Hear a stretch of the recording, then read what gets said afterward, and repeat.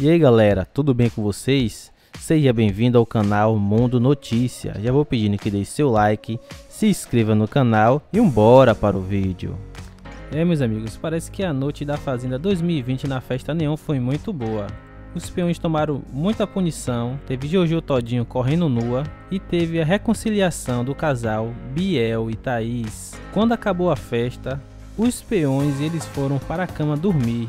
E no vídeo mostra o edredom fazendo muitas movimentações, dando a entender que Biel e Thaís não estão só se beijando, fazendo aquilo que todo mundo gosta. E aí, o que você achou? Dessa vez, né, o casal voltou mesmo. Já peço a vocês encarecidamente que deixe seu like, seus comentários para você ficar ligado aqui também, ative o sininho. E valeu e até o próximo vídeo.